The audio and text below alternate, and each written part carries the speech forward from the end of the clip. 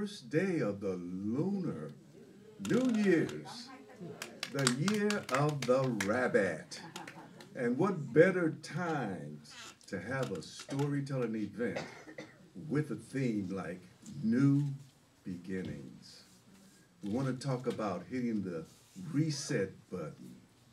Want to do like James Brown said in one of his records get off on the good foot. Yeah. And we are going to be telling stories about transitions.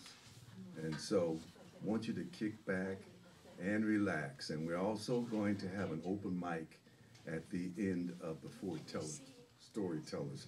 Now, we originally had five storytellers, but uh, Jerry Keenan had a medical issue. She can't do it. She said, give my time divided up equally among the four tellers.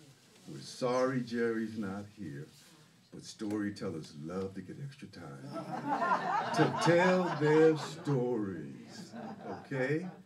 And so we're going to get started with our first storyteller.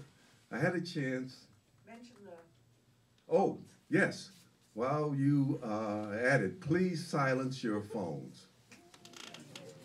Don't want any interruptions. Our first storyteller is a gentleman I had a chance to study with at Stagebridge and also to share the stage with him in stories around the Bay Area. Our first storyteller is Kiran Rana. He is a teacher and a student of Sufism. He's a singer, he's a writer, he's an author. He tells personal and also pourquoi stories. And he tells stories of Sufism, particularly about Mullah Ras Nasra Rudin. Our first storyteller of the day, Kiran. Come on up, brother. And he will be telling a story about the mullah and the uh, the wise fool. You can adjust that. Thanks, brother.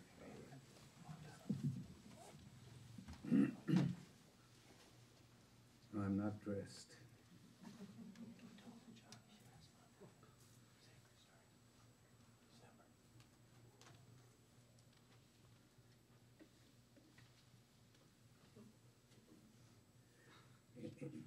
These are new, but that's the only thing new about my stories. my name is Nasruddin. Uh, some places they call me Mullah Nasruddin. Some places they call me Hoja Nasruddin. Some people call me Uncle Nasruddin. And uh, in one corner of California, in a little town called Alameda, there is a very smart man who calls me Unusual Nasruddin. so, I am known to be a storyteller in many countries. In the 60s and 70s, this Sufi author called Idries Shah, he collected some of my story teachings and he uh, yes hello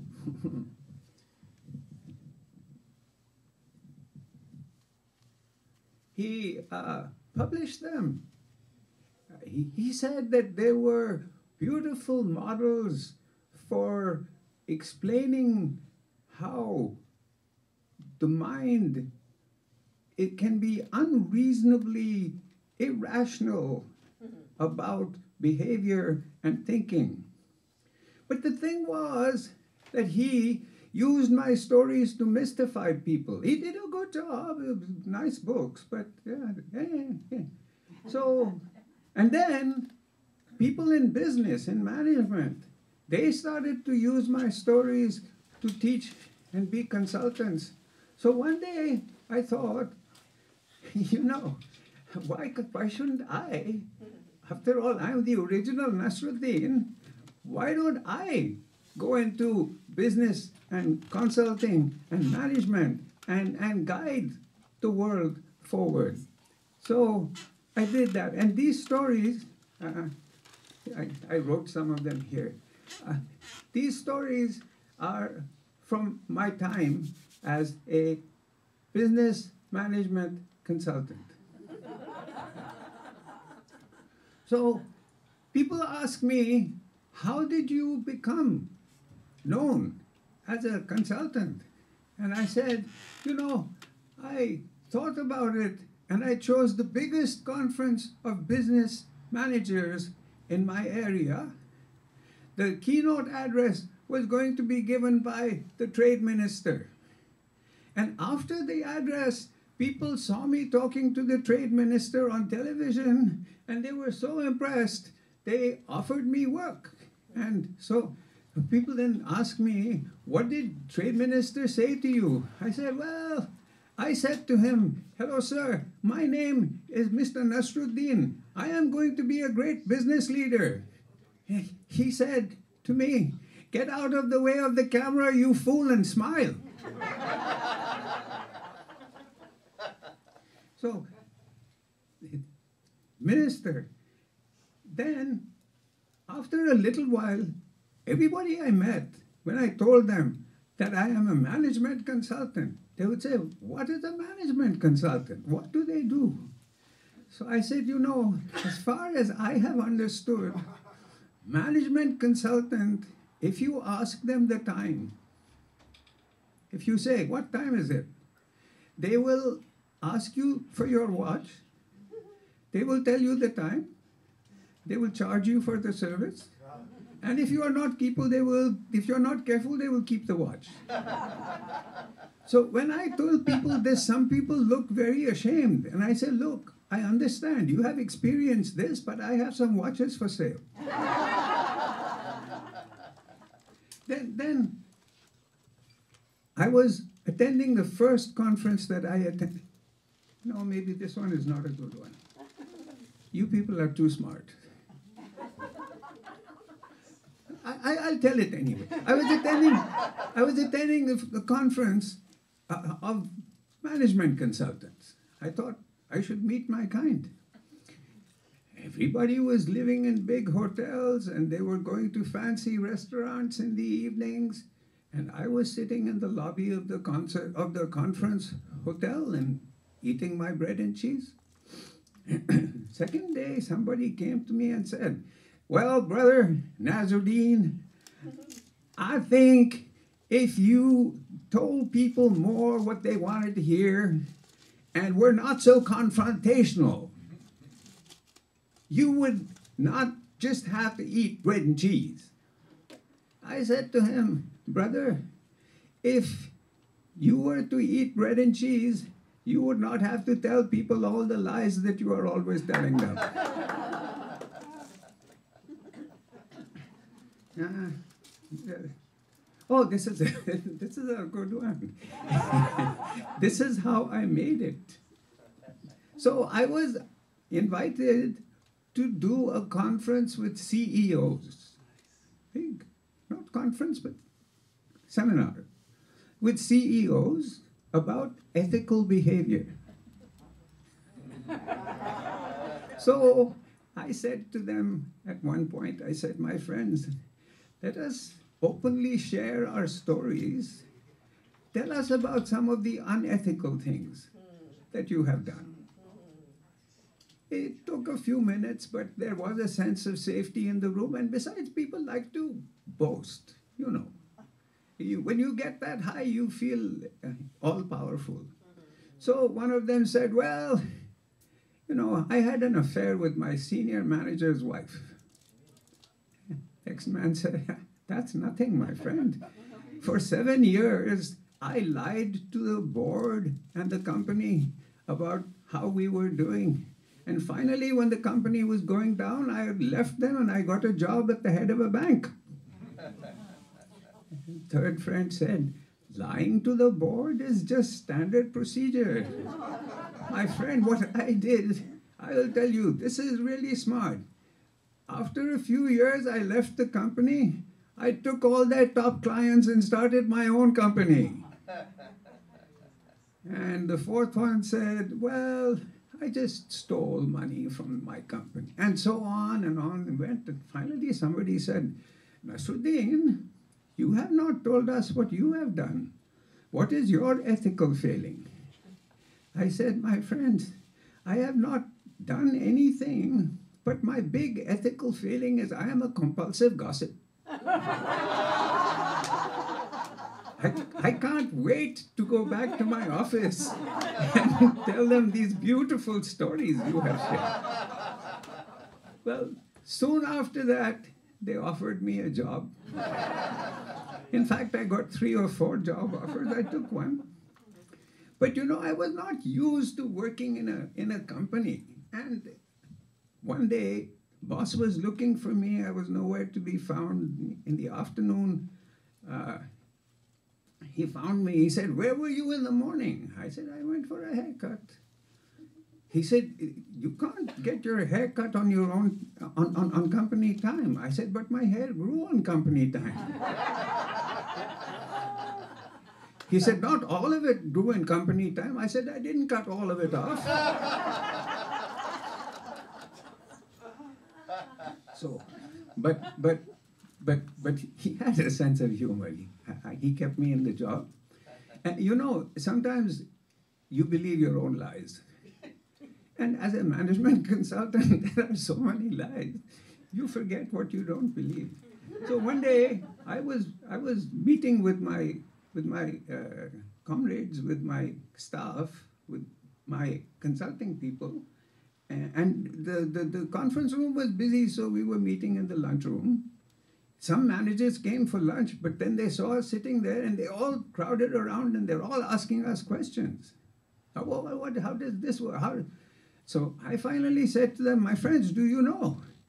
Outside the boardroom is a notice board.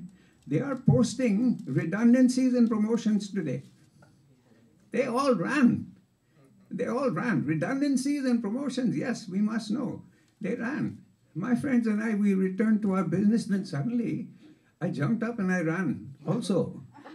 My friends understood and they said, Nasruddin, Nasruddin, what are you doing? You made up that story yourself.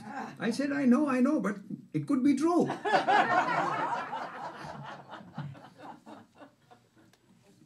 that one, no. This one might be too smart, actually.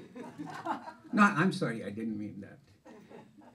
Anyway, so, you know, Initially, when I was working, I would tend to get a little stressed. And maybe it was showing on my face.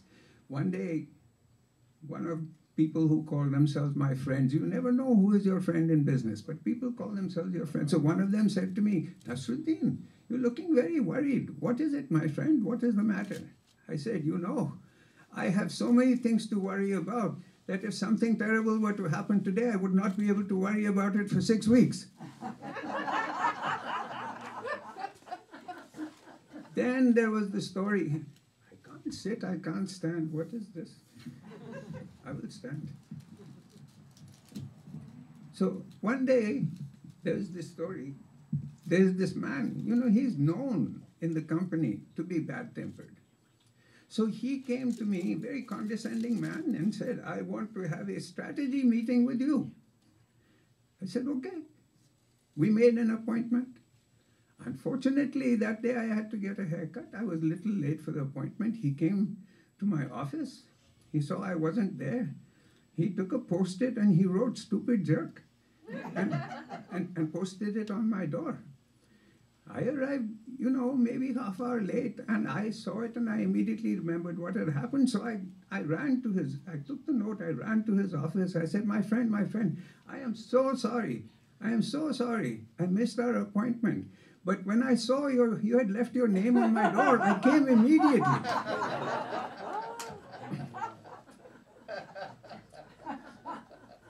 I made one very good friend in, in this company he was called the vice president of logistics. Basically, he was a, a, a, a glorified warehouse manager. But he said to me, Nasruddin, we have trouble when we have a lot of stock coming in in peak shipment periods. We don't have enough place in the warehouse. And there is me. I have four managers. Each one of them has supervisors. We are all so crowded. I need your advice on how to manage this. I thought about it. I said, I have a solution for you, my friend. Do you have any equipment outside the warehouse? He said, I have three or four conveyors. I said, bring them into the, bring them into the factory. He, he, he, he said, bring them into the factory. I said, trust, trust me. Just bring them into the factory and, and uh, keep them for one week, then we'll talk again. At the end of one week, he came running to me and said, Nasruddin, things are really not good. I mean, conveyors are in the way, and now goods are piling up, and people are getting a little upset. I said, Do you have anything left outside the factory? And he said, Well, I have three trailers.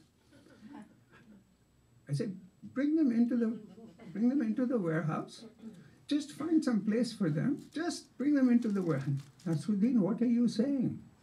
I am I'm already having a hard time. I said, my friend, trust me, just one week, three trailers in your warehouse, no problem. So he's a trusting man, a very nice man. And I think we came same country, maybe even, but anyway, so he he did that.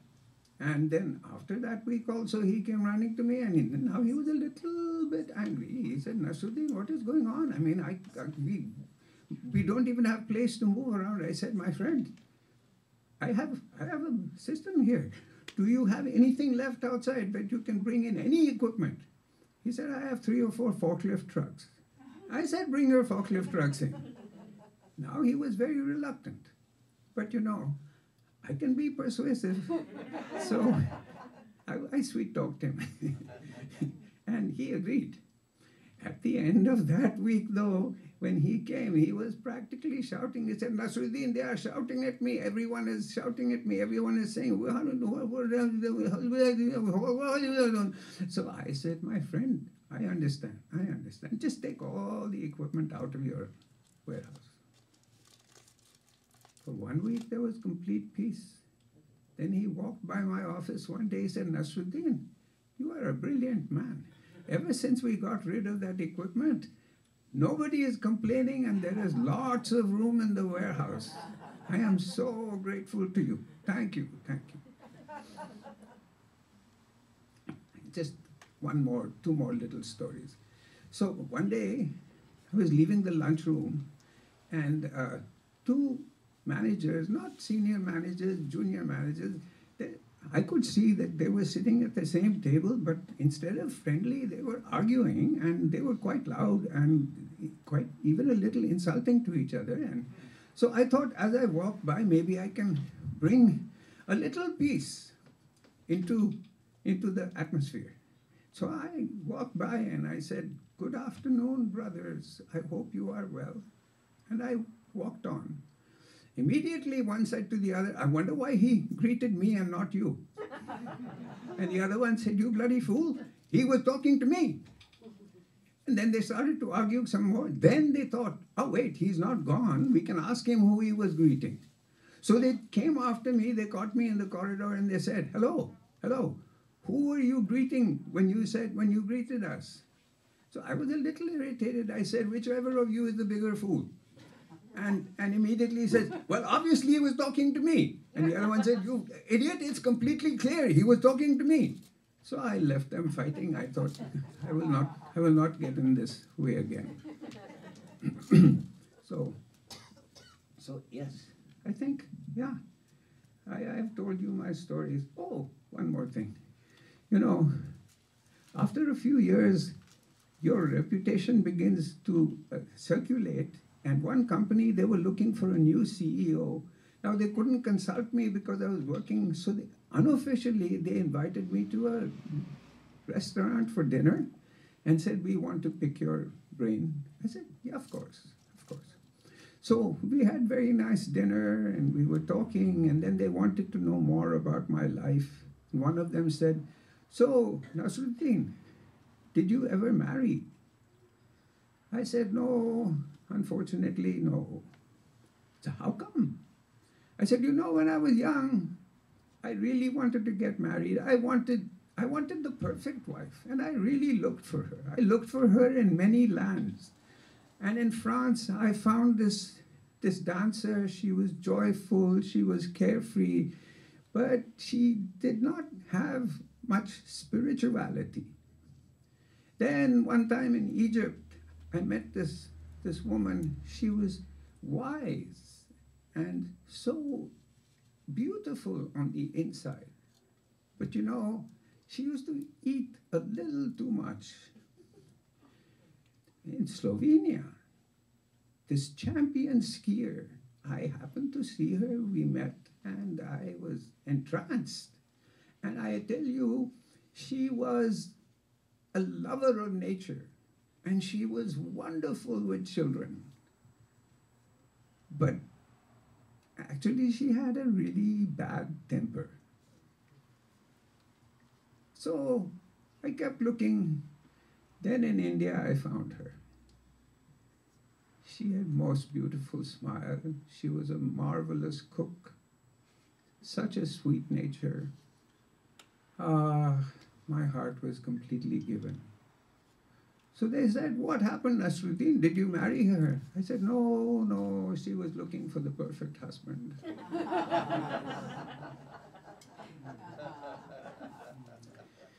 so, you know, I was at a conference. They wanted me to talk about addiction. And uh, they said, Nasruddin, tell us about the challenge of addiction in businesses. I said, Yes, I will absolutely tell you. But before we go, just one more story. Thank you, my friends. so I want to thank my friend.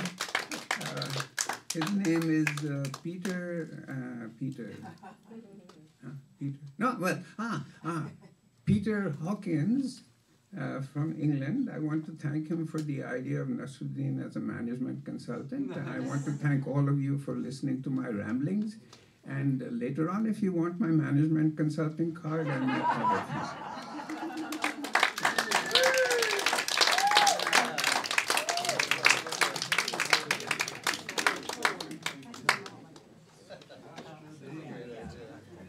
All right. The wise fool. Okay, moving right along, we have Eleanor Clement Glass. Eleanor is also a product of Stagebridge. She's a student. She's also a board member, and Eleanor and I have also shared classroom and the stage as well.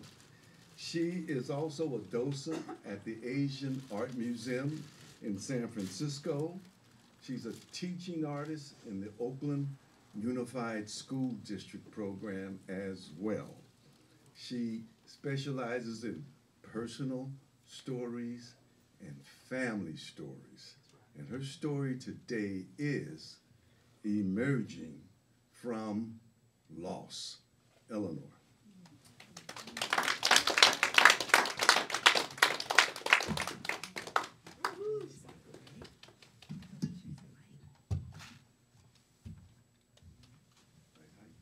I think it could be a little lower. Is this good? How does this work for everyone?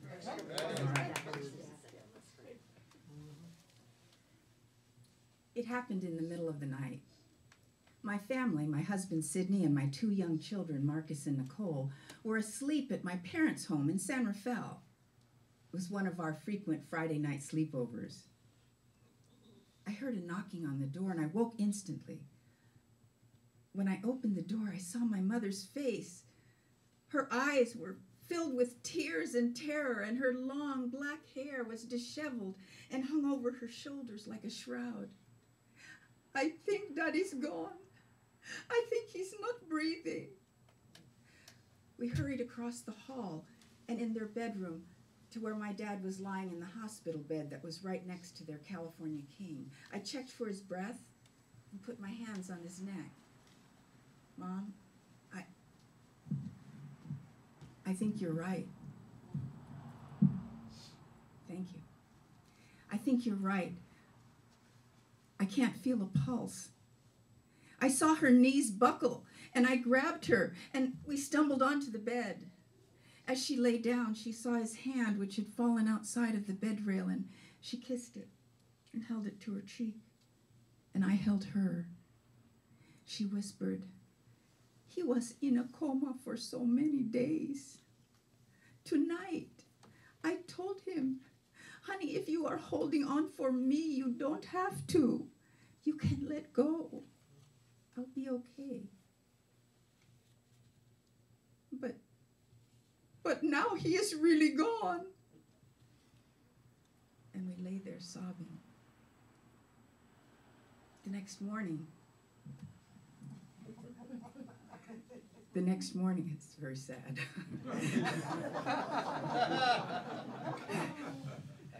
the next morning, my brothers Carl and Ray and my sister Donna came to the house. Two men from Keaton's mortuary came early on, and my brother Carl was showing them down the hall to the bedroom. But my mom saw them and she rushed down the hall and she burst through them. She went to the bed and she threw her arms over my dad. She said, No, you can't take him. You cannot take him. My brother said, Guys, you have to come back later. She's not ready. That morning, we talked about what to do next. We shared daddy stories.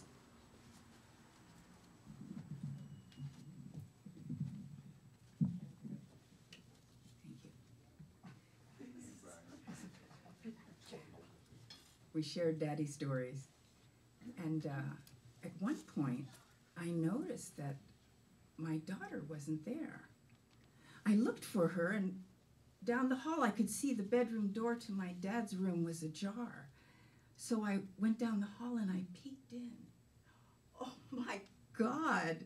My five year old daughter had climbed up and over the bed rail. She's straddling my dad, and her little hands, her chubby little hands, were cupping his cheeks she leaned over and said, Pop, Pop, I love you. And then she put her ear to his lips. When he didn't answer, she said, Pop, Pop, I love you. She wanted him to play their game where he says, I love you back. And then he tries to kiss and nuzzle her neck until she squeals with delight. I felt my mom beside me. Mom, I'm so sorry. I'll get her. No, you leave her alone. She's saying goodbye to Papa. It felt so natural for the whole family to be together that day. We took turns with our final goodbyes. My mother told us, You know, this is how I want to die. I want to be in my house. I want to be with my whole family around me.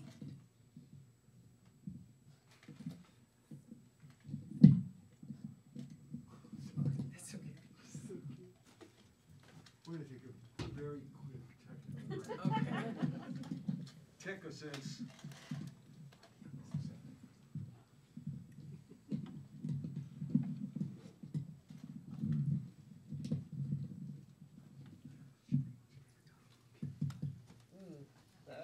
Thank you.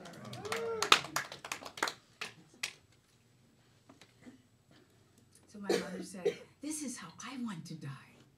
I want to be in my house, and I want my whole family around me.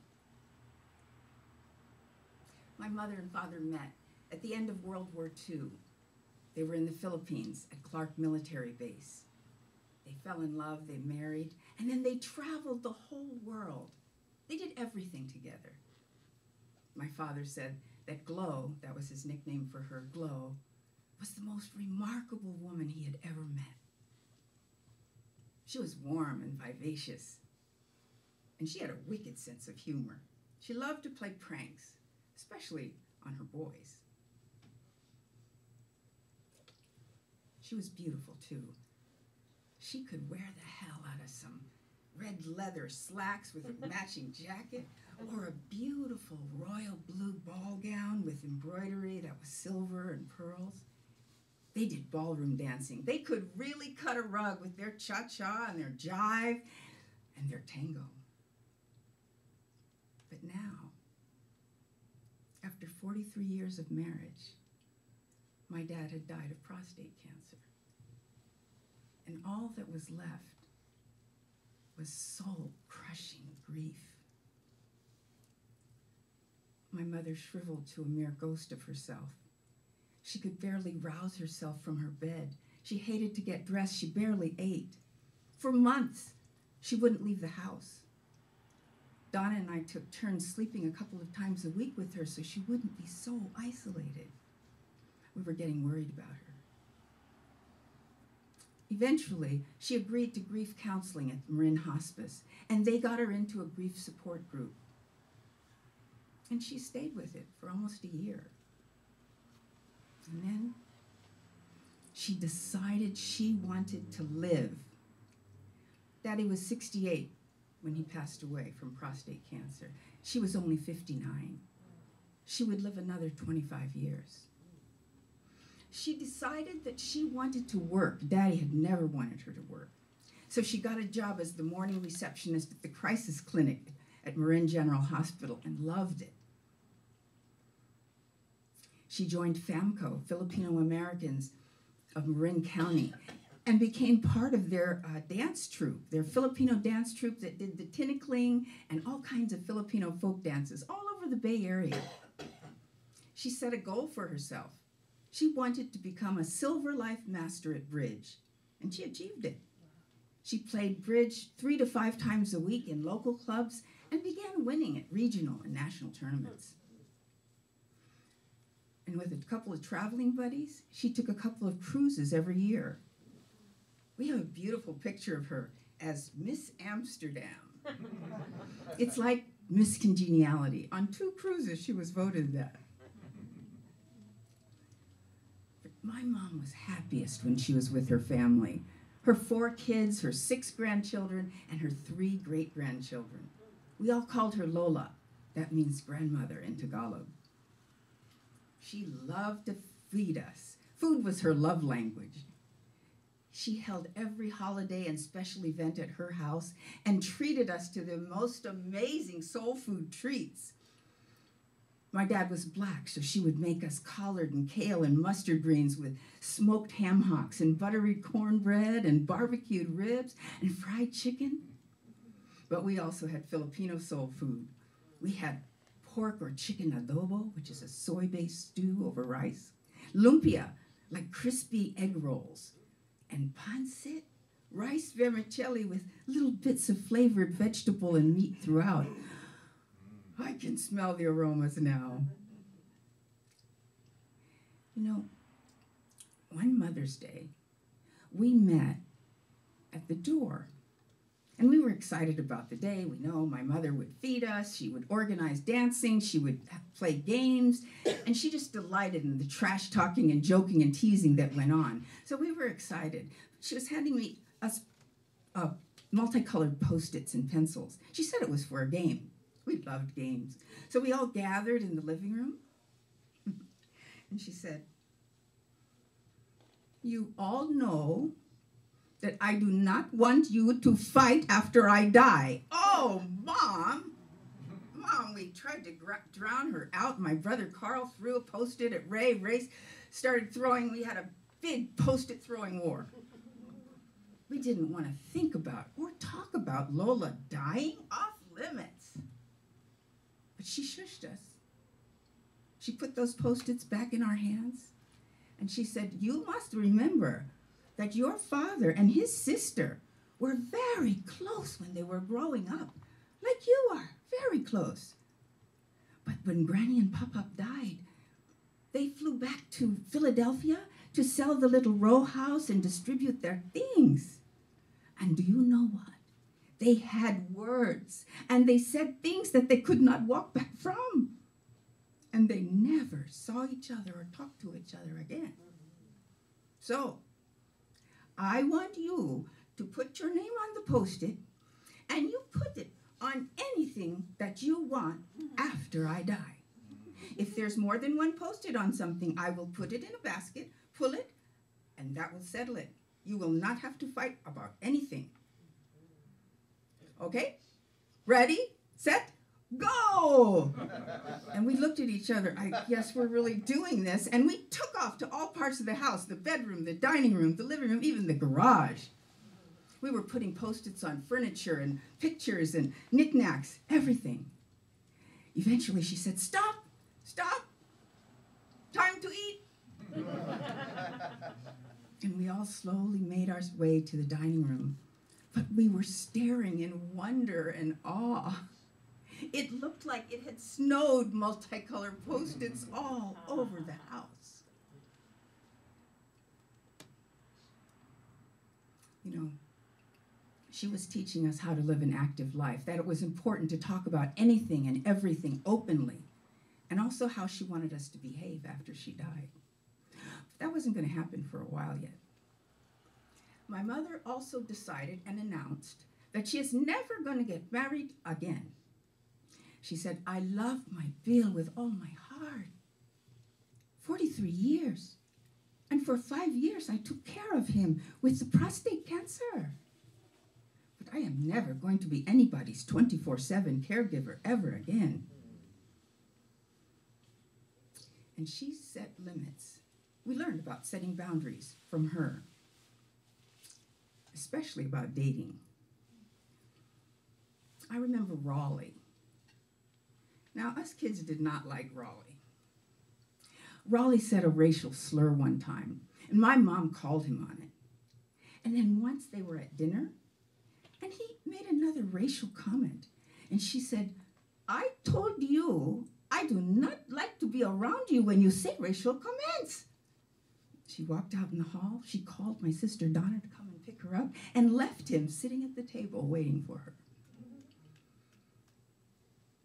She uh, called me one time too. Hello, Eleanor. I, am with Brian, and uh, he asked me to spend the night. Mom, I was so embarrassed. Mom, you do not need to tell me.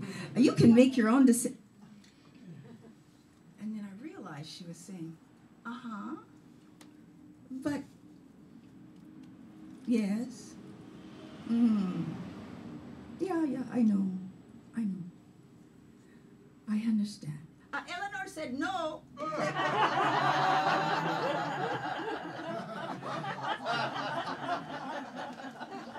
she had many suitors, well into her 80s. The last one was Rudy. Rudy was a professional caregiver, and he was thrilled when we asked him to be mom's caregiver. He thought he had won the lottery. He was making her all her favorite Filipino dishes. They spoke Tagalog to one another, and he was a professional masseur. So he eased her arthritic hands and hips. One day, though, I got a call from Donna. Eleanor, mom fell, hit her head on the bathroom counter. We're at Kaiser. Well, Sydney and I took our keys and sped back across the bridge. The nurse said, I'm so sorry, but your mother is in a coma. We're not sure she's going to come out of it. But if she does, she won't enjoy the quality of life that she has now. That night, Carl and Don and I slept in the hospital room with her. I woke up in the middle of the night and I saw that on the monitor there was a flat line. I said, Mom's gone. And we cried and we held each other. The nurse came in and said, What happened? I pointed accusingly at the monitor. She went over to the monitor and she followed the cord down to the wall plug. She said, No, your mom's okay. It wasn't plugged in. My brother pushed out of our group hug. God damn it, Eleanor. But then he couldn't wait to tell everybody about the practice death that I had put them through. You know, that's the kind of prank my mom would have played. I'm sure she thought it was hilarious. We expected her to sit up and say, I got you.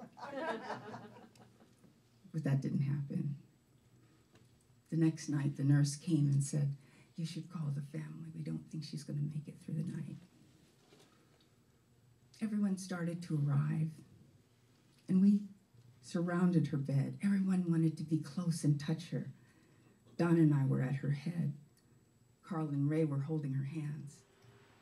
And when I looked back, my daughter Nicole had cupped her big toe in her hand. Don and I stroked her hair. Mommy, you can let go. You can let go now. Daddy and William are waiting for you. William was their firstborn son, who died 11 hours after he was born. Go and see Daddy and William. We'll be okay. And together we watched her breath go in and out, in and out.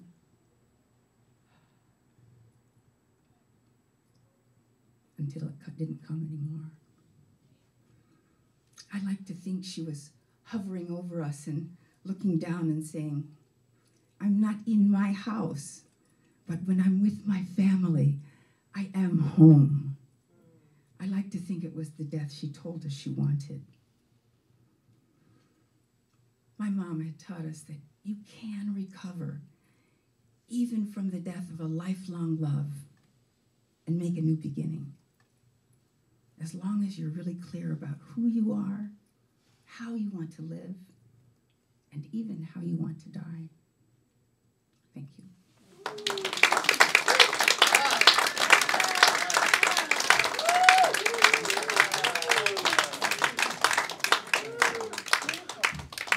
Whoa, thank you so much, Eleanor.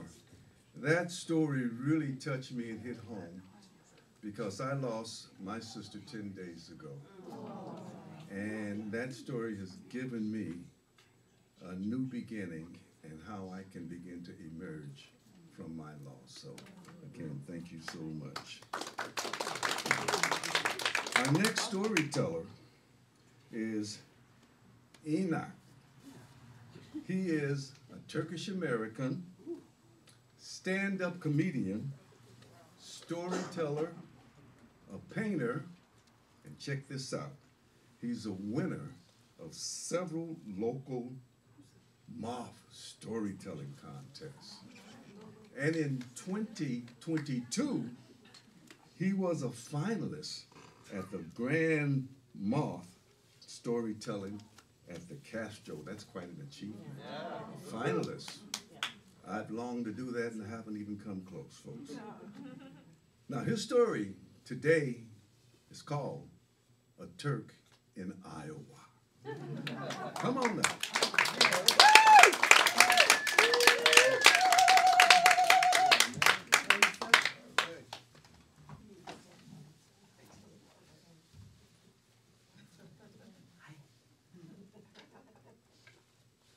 Sorry.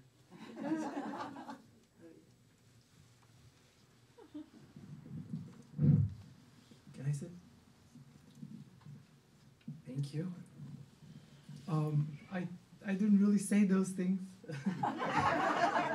I yeah I, I don't think I mean I didn't even make it to the well anyways thank you. This is very nice. Um, Your publicist did it. Oh, thank you, Claire. Yeah, thank you. Uh, uh, well, my life is full of uh, many, many, many, many, many uh, disappointments and uh, a lot of achievements that never happened. yeah, but uh, since we're here, I I um, I wanted to um, tell a story, but after I mean, wasn't it so great the last two people we watched? I, yeah. So I'd like to change it a little bit, especially with your permission and your blessing, sir. Um, and uh, you mentioned uh, the, you know, the patron, patron saint of all the comics in the world, Nasruddin Hoja, right? Uh, saint from my home, Anatolia, who I love and follow very much. Um, in the old days, before people would go up, they would ask his permission. Uh, so hopefully, with the permission of Nasruddin Hoja, it's good to be here. And uh, I think we all pretty much uh, fell from a roof coming here. Because one time, this is the only short little Nasruddin Hoja original story I'll tell, that one day Nasruddin Hoja went on a roof and he fell down. And people came up to him and said, Hoja, Hoja, what's happening? He said, I fell off a roof. and somebody said we should call somebody to help you, a doctor. And he said, No, I don't want a doctor. Find me somebody who fell off a roof. we all fell off a roof, and I don't really talk much about in normal life religion and the importance of it for me myself, but I believe that um, God is love, and He loves humor. Right? Yeah. Ya Latif. Ya Latif. And also, we also love God, and God is grace. Right? We believe that, some of us. Um, so, my story is about, like the rest of ours, is basically a new beginning uh, that I'm 40 now. But um, in year 2000, um, I was born and raised in Turkey, and I was not a very successful, not a finalist at the Moth at that time. I got kicked out of so many schools, I failed. And um, I was diagnosed with early, in a very early stage of ADD, ADHD. And so people didn't understand, so it was very tough. And I got kicked out of everywhere. And then eventually, uh, my dad said, You're not going to make it here in, in Turkey. It's like, you got no future here, you got to go. I was like, Where am I going? I, I really thought, I, I didn't know. And uh, he said, I, I asked him, he said, America. I'm like, Cool. or New York, LA, Hawaii. It's like, uh, Iowa. Because I, you know, year 2000, uh, we, I we grew up knowing that the world's most dangerous place was uh, Texas, where people carried guns and they had the, they had their, they used their First Amendment to hurt each other. So, and then I came to America, and come to find out, they thought I was from the Texas of the world, where they thought we were so dangerous and what have you. But this was uh, year 2000, so before, right before the September 11th. But um, I was an exchange student, and I didn't know anything. I couldn't speak English. I failed at school all the time, and I couldn't really tell about who I was and the things I feel for a very long time. And even though I grew up in a secular nation with Islam as our religion, we, it was not really forced on us. But um, I was sent to a very religious place, uh, a Christian town. and yeah, and um, it was really cool at first because um, I was like their dream to convert. And I would go to these um, religious concerts, and people would cry on my shoulder and say, You're going to hell. I was like, And then I didn't know much about any of the customs in high school. My mom said you should wear tight jeans and slick your hair back and make sure you kiss all your friends. So I was very shy about talking to girls, and so I would kiss all the boys. So before I start, there was a name that was given to me, and I think you can guess what it is. Uh, so I kept using it in a positive term without knowing what it meant. And so this basically, this story is about my ustad, my sheikh, Hal Baba, uh, my Christian minister that changed my life. And so I would, the first day I met him, he was the minister of the church, and he was a Jewish born man, and also a very loving, nice, devoted Christian. But he said, I'm a Muslim. I was like, what? What? he called himself a Sufi. I was like, you are? Cool.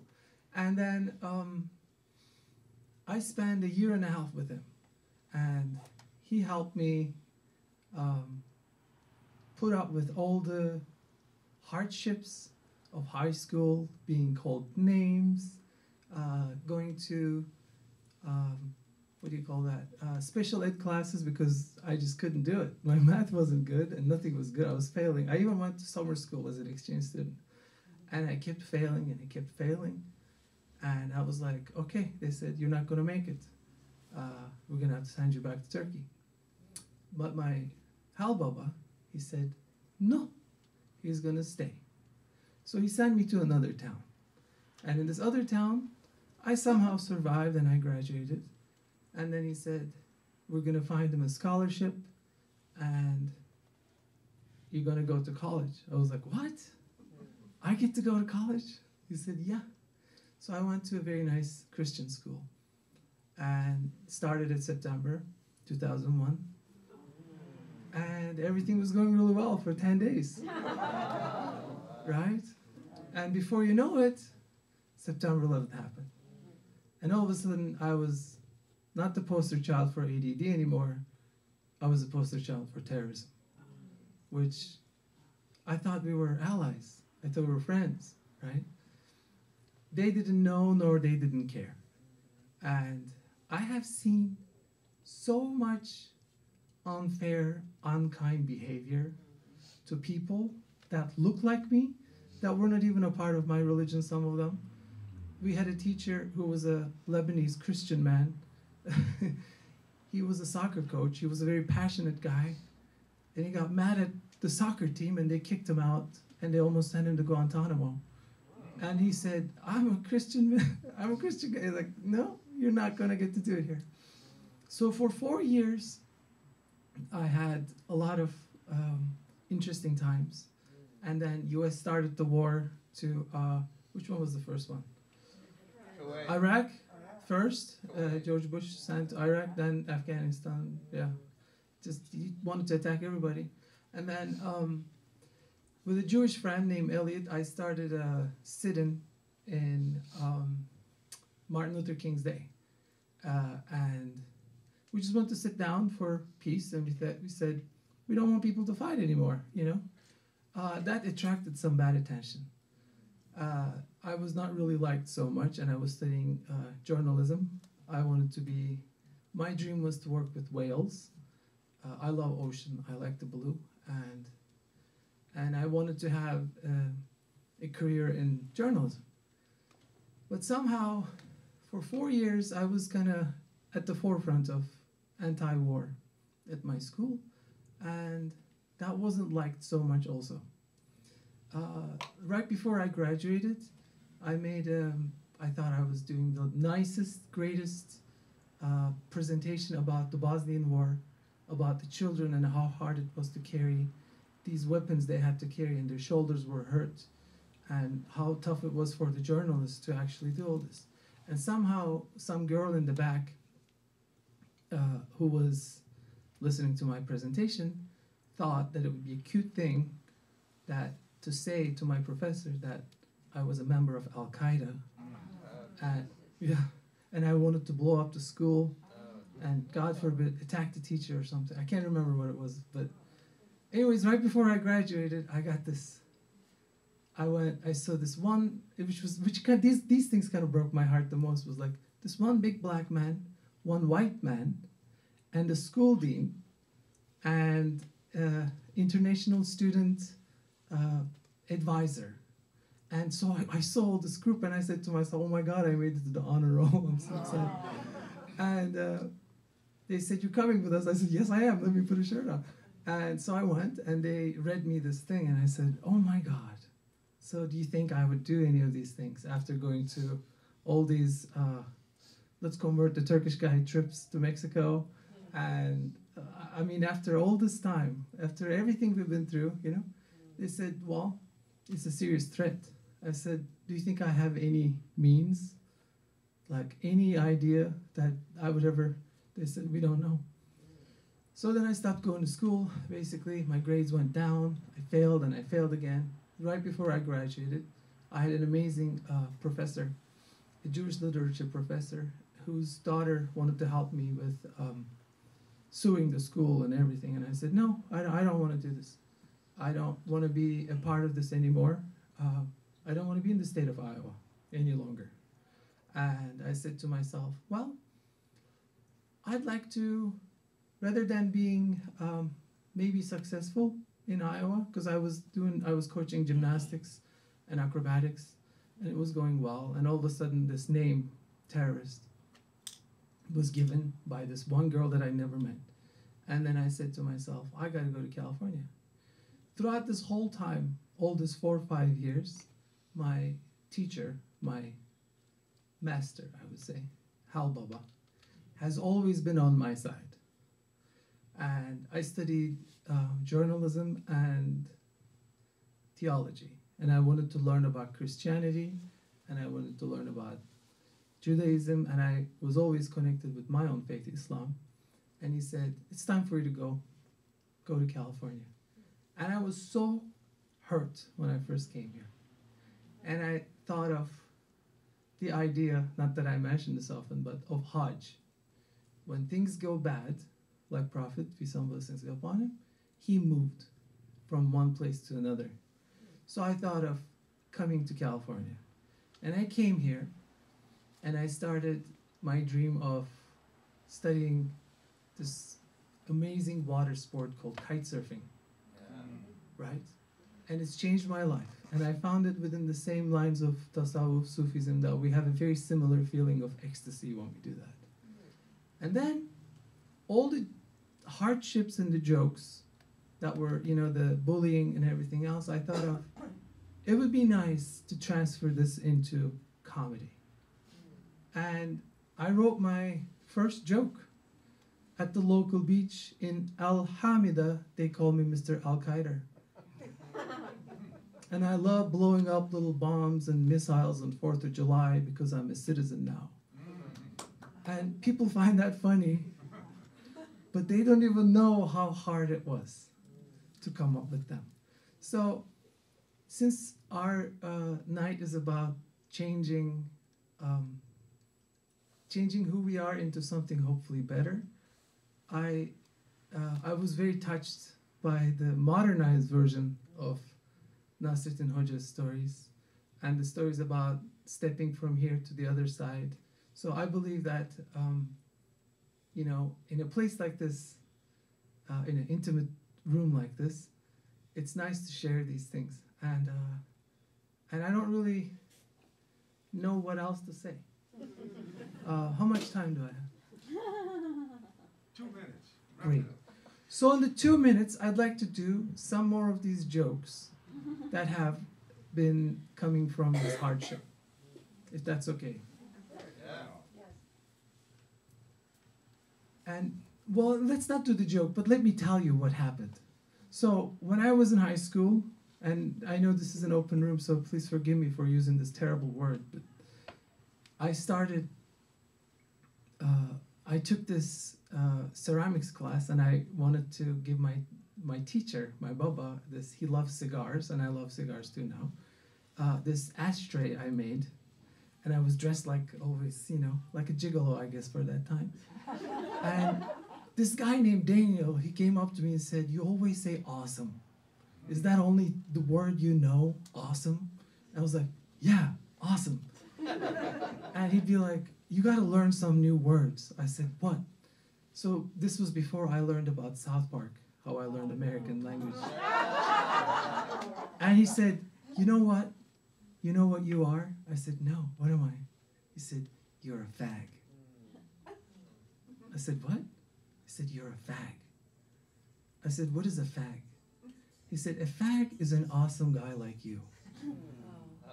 So I went calling everybody fag for three weeks. I one day went to my beautiful host father, Hal Green, and he was, we were having a beautiful lunch. And, you know, Christians, before they start uh, uh, eating, they have a wonderful prayer. And it was all family and he he said dear god thank you for this gift and our son Inanc and our family and this beautiful home. We love him. And i said i had enough my heart was so filled for his love and i said baba you are a fag he looked at me and he said son what did you say i said baba you're a fag and i mean it you have to accept compliments. And he said, Who taught you that? I said, Daniel. He said, Okay, I am. So he taught me by grace and kindness and latif. How to turn something that's even terrible into something nice. And hopefully, uh, this short version of this new beginning makes sense. And uh, thank you so much. That's it.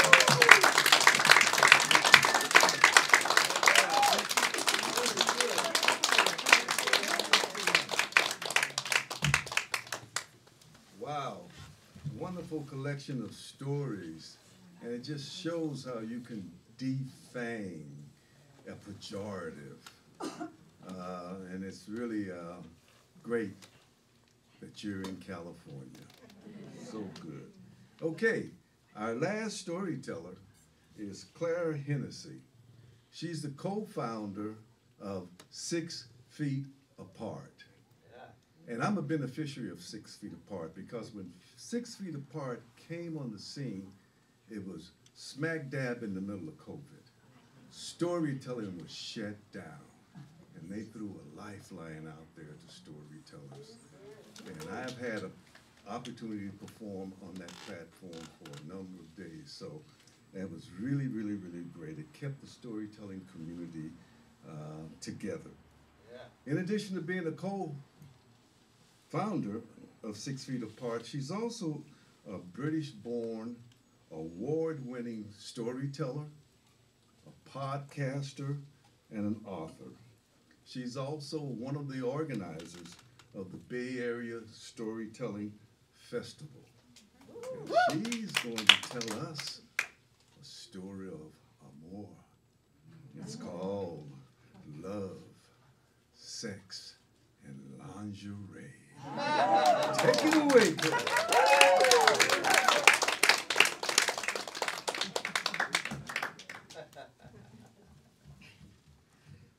these lights are so bright. Um, Well, thank you so much, and thank you to everyone who's been speaking so far. Now a little bit of light relief.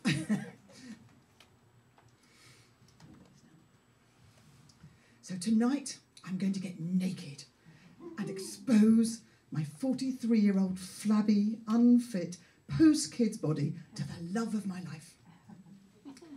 I'm shaking as I pull on my brand new, sexy, and really expensive lingerie in preparation for this evening's upcoming festivities.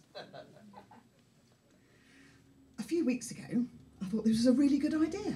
Now, I'm actually thinking maybe it's like a humiliating and agonising slow death. As I look down to admire my lovely new bra, I spot my bulging stomach and my flabby thighs. I think, what on earth did I think this was such a good idea to jump into bed with someone I haven't set eyes on for over 30 years? He's going to take one look at me, run screaming for the hills. What the actual fuck have I been thinking? It's 2006 and I'm still living in England. Now, weight and body image and how I look has been an issue for me for most of my life. I think it started around the age of 10 when I put on a lot of weight when I was went to middle school. And I was bullied unmercifully for about a year by so-called friends. Luckily, at the age of 11, I went away to boarding school, got a much better circle of friends, and I got into sports, especially hockey. Really loved hockey. All that running around a huge playing field in England in the pouring rain soon dropped a lot of the weight off me. So then I wasn't really so overweight anymore and pretty normal looking, but on the outside anyway, but on the inside I was still that bullied little girl, st- secretly stuffing her hurt feelings with ice cream. Now, a few years go by, and um, although I'm still feeling chubby and unattractive, I do start getting a bit of attention from boys. And I get my first boyfriend, Bug, when I was just 13. Now, I wasn't allowed to have boyfriends at this age, so he cut a hole the, in the back of my high security prison, and I squeezed through and meet him in secret as we walked up and down the path at the back of school, holding hands and just kissing for hours. Now, when I left school, I oh no, so before I left that, what happened was that um, that ended because I got caught by my matron, got into a huge amount of trouble, and was grounded. So anyway, a few years later, when I left school, I also left behind all my sports. So of course, the weight started to come back on, and I ended up finding myself on one diet or another for years, really for most of my life. You know, some with more success than others. But at one point, in my mid 20s, the fat gods decided to give me a break and I dieted down to my weight nirvana of a UK size 10, which I think is a US size 6. And quite honestly, I looked fabulous, I felt fabulous, I felt like I could conquer the world. It was my holy grail of body sizes.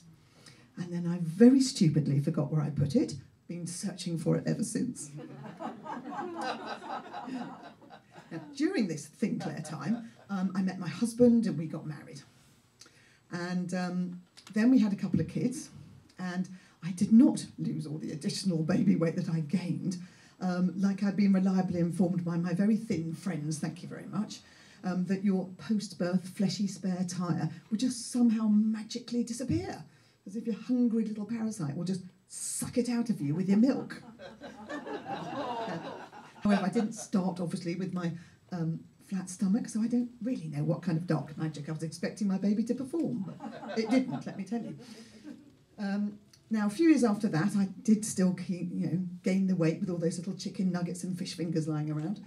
And a few years later, my husband and I weren't getting on very well, and we had this another vicious argument where I complained that we didn't really talk anymore and we didn't really have sex anymore. And then he blurts out that he doesn't actually fancy me anymore because I don't look as sexy as when, you know, as I did before when we had kids. Now I was gutted, and after wanting to really kick him in the ghoulies, I just decided I would never let him see me naked again. Now our relationship didn't really get any better. We didn't recover from that, and a few years later we split up. And so afterwards, I thought I'm not going to date.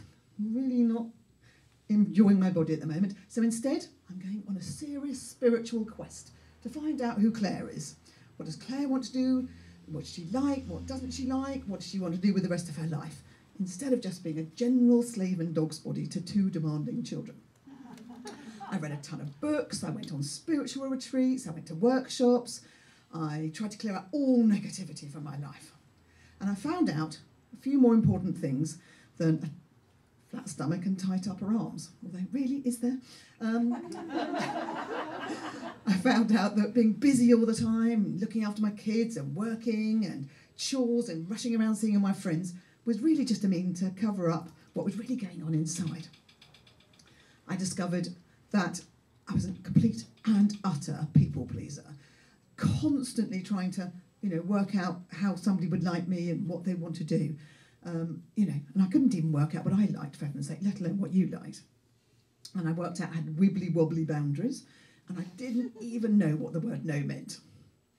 Now, after a while, I did feel that my inner self was a little bit healthier, but I was just still a tad nervous about my outer self. And then I went to the pub one Friday night, a rare child free Friday night, one too many glasses of wine, came back and thought it was a really good idea, jump on my computer, look up old boyfriends on the school reunion website, like you do when you're a bit drunk. And this was before Facebook and Instagram, and where social media wasn't even a twinkle in the eye of a, you know, techie down in Silicon Valley. So I did actually manage to find my old boyfriend, Bug, from when I was at boarding school.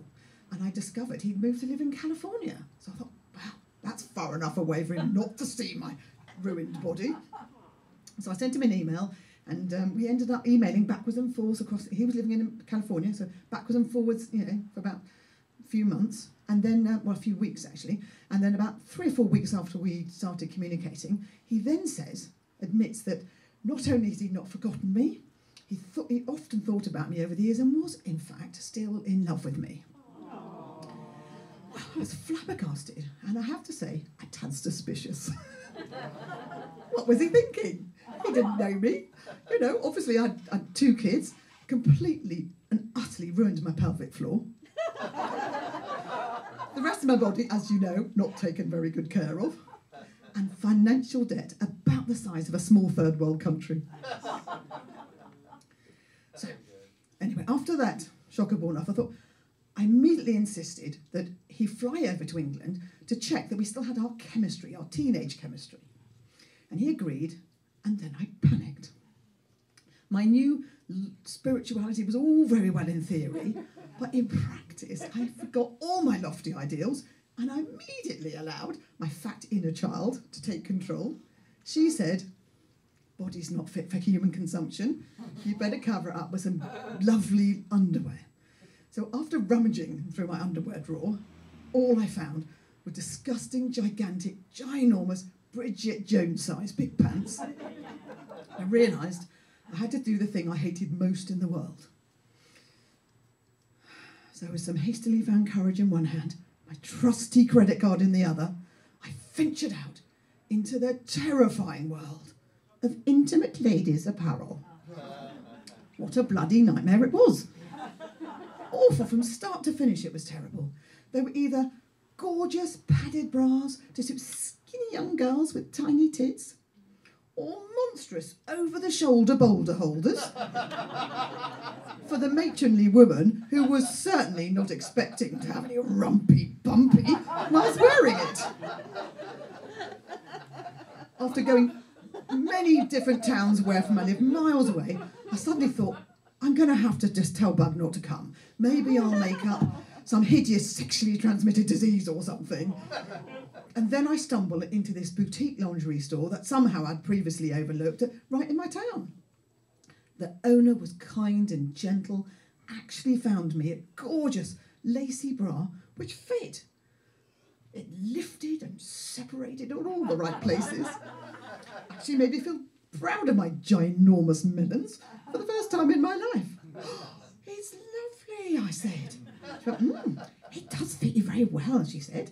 Is it for a special occasion? God, blushing, I admitted. I wanted this new lingerie for the blatant intent of seducing somebody I'd not set eyes on for over 30 years. I realised I must sound like a bit of a slut. Bless her, she just rushed off, a little gleam in her eye, and then insisted I try on some French style panties. Well, they were a bit higher waisted, they covered my problem era stomach, and their beautiful lacy material just covered my horrible cellulite bottom. So much better than those awful sodding G strings which just disappear in for lunch, never to be seen again. As she wrapped everything beautifully in tissue paper, because it was that sort of a store, even my credit card was quaking. I realised I felt the first flutter of excitement since viewing my disgusting underwear drawer. God, even Bridget Jones would be quite pleased with this underwear. So now, here I am, wearing gorgeous underwear, driving to meet Bug after 30 years. When I see him in the distance, I realise, oh God, my hands are all sweaty, my heart's pounding, I've got demented bats in my stomach. There's this little figure standing in the cold. He's wearing a blue Aran jumper and a little beanie hat. And for some reason, he looks a bit like a bank robber. he's wearing a beard. He's, well, he's got a beard, so he doesn't look anything like the boy that I remembered when I was 13. I think he might be some mad axe murderer. Should I even let him into my car? But without waiting for an invitation, he opens the door, plops himself on the seat beside me. Hello, I squeak. Now, should we hug? Should we kiss? What's the etiquette for meeting someone after three decades? I don't know, so I don't do anything. Shove the car in gear and drive off home. I'm so tongue tied with embarrassment, I don't really say very much, but luckily, Bug talks non stop. we get back to my house and we sit on the sofa and we chat for a bit, and then we start to kiss. Now, can't remember if this is how we used to kiss back at school, and he's now got a beard, so it's difficult to work out, but it's jolly nice, and then we get a bit more passionate, and after a while, he gets up, holds out his hand, pulls me up to him, gives me a lovely lingering kiss, and then leads me upstairs. When we get to my bedroom, I go to light the candles that I'd strategically placed earlier in the day, just in case. Turning a minute later, I am stunned to find Bug standing before me, already naked. In a snap of elastic, he's just ripped off all his clothes. and now here he is before me, stiff and proud. I don't know what to do or where to look. I don't know whether I just imagined it, but did he just push his hips out towards me? Blushing like a teenager, I think there's nothing for it. I've got to undress myself. I slowly peel off my shirt, not daring to look at him, and then bend down and peel off my trout, my jeans, revealing this gorgeous, extremely expensive, wonderful lingerie. And I'm somewhat proud. Ta-da! Instead of saying, "My God, Claire, you're so beautiful," and by the way, what lovely lingerie, he just turns around, lifts up the duvet, and gets into bed on my side. I stand there for a moment as the dead weight of disappointment thuds in my gut, and then quickly walk round to the other side of the bed and hide myself under the covers. Now, before I have a chance to say anything, he pulls me to him, and when he feels my bra, he quickly undoes it, takes it off, and discards the most expensive item of underwear I've ever purchased. Excuse me, without a backward glance. I want to shout, Oi, do you know how much that cost? he deals with my panties with almost the same haste, not seeming to notice their lacy gorgeousness. Afterwards, I ask him, How did he like my new underwear? And then he admits he's got appalling eyesight and he could hardly see in my dim candle lit bedroom. All that humiliation by snotty store assistants and all that vast money for nothing. Anyway, after the initial rush to get naked, Bug now takes his time. It has been so long since anybody has seen me naked, and it just seems to want to visit every part of me. I wish I was thinner. I wish my boobs didn't fall into my armpits. I wished I'd trimmed my lady garden. Bug doesn't seem to notice nor care, however, often stopping what he's doing to kiss me and tell me how sexy and gorgeous he finds me. In the morning, I wake up and I've got his arms around me, his body pressing into mine, little insistent kisses on my neck as he tells me how much he loves me and how much he wants to be with me. And so it seems, like in, like in Bridget Jones' fashion, he loves me just the way I am. Now, the next three years, we go backwards and forwards off- across the Atlantic. And then in 2008, I take my kids and myself to start a brand new life in California and marry him. In December, just gone, we celebrated 14 years of marriage. and he still looks at me like I'm some sort of amazing goddess that he can't believe he gets to spend the rest of his life with. But remember, appalling eyesight hasn't changed his glasses. True, it's true. anyway, he still is amazing, tells me how he loves me all the time. And so I now can actually walk about stark naked in front of him with the lights on. And then I also happily sunbathe naked in my garden, much to the horror of my children if they pop by unannounced. they love that. Which is pretty incredible considering my body has headed south with all the restraint of a dog chasing a squirrel. Sadly. Now, because of Bug's continued you know, unconditional adoration and my continued spiritual journey where I've really done a lot of work, I definitely think I have come much more to a place of self acceptance. And then one of the best things that, for me that I think I've learned is just not to worry so much what other people think and really make my opinion of myself more important. Thank you.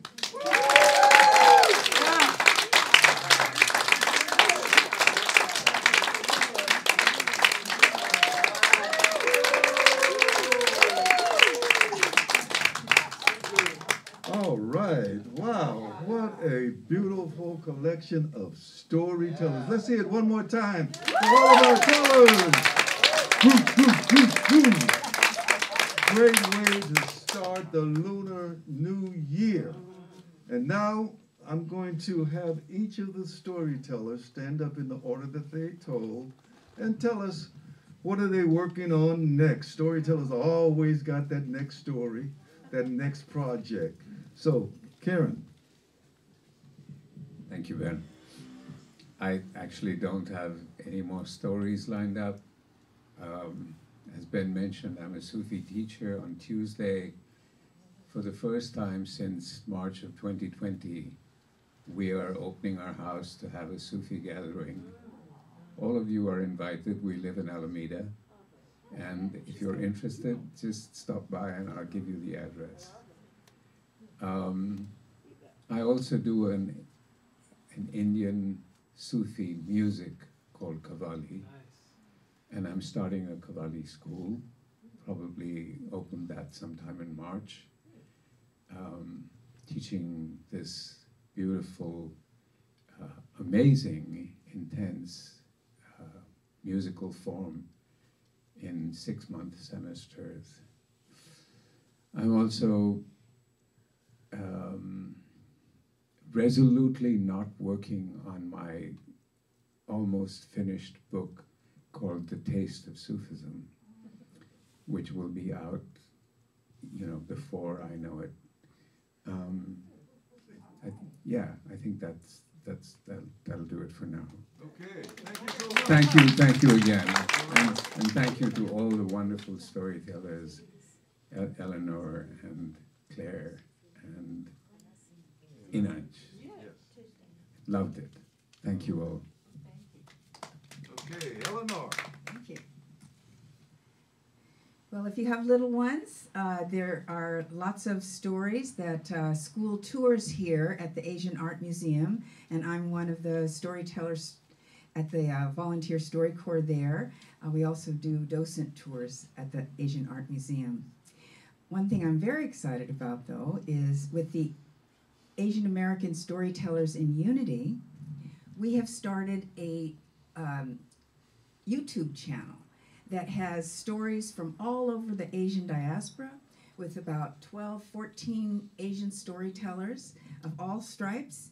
And I have little cards for you with the QR code and how to get on it.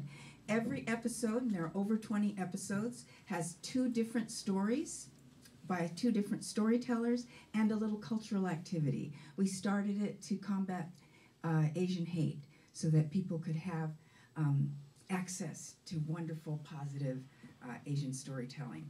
So please take one and pass it down. If you're a grandparent, you might enjoy that, or if you have kids or know people who have children, particularly pre K to fifth grade. So thank you very much. Can I add one thing? Sure. Sorry. I, you know you, how you always forget the best thing. So during these uh, so-called Sufi meetings, which we're going to have every month, we are actually going to have conversation. I believe conversations are activism. We are going to have conversations about climate change and how to how to confront it, how to acknowledge it, how to prepare for it, how to uh, be strong and resilient within it. it the, the series is going to be called A Matter of Life. And again, you're all invited.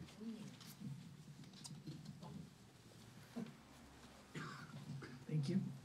Um, okay, sure. um, uh, this year, I'm hoping to um, continue loving my beautiful Jessica and my dog Kismet, and loving my friends like Julie and JP and Claire and all you guys. And I have the intent to, um, if everything goes well, um, to do my 45 minute to one hour special of um, crowd work comedy and I have uh, in the last three four years went kind of nuts with middle age crisis. I'd like to uh, find a nice venue to uh, showcase my art, all abstract paintings, hopefully. Yeah. Yeah, yeah, yeah. Thank you. Hi. Um, well, I've got loads going on, sorry. Six Feet Apart Productions. Um, we do two shows a month. We've got a really good show coming up next Saturday at two o'clock, um, which is a recreation, if you like, of the f- an impromptu fringe that they used to have at the National Storytelling Festival in Jonesborough in Tennessee, which is the biggest festival in the world.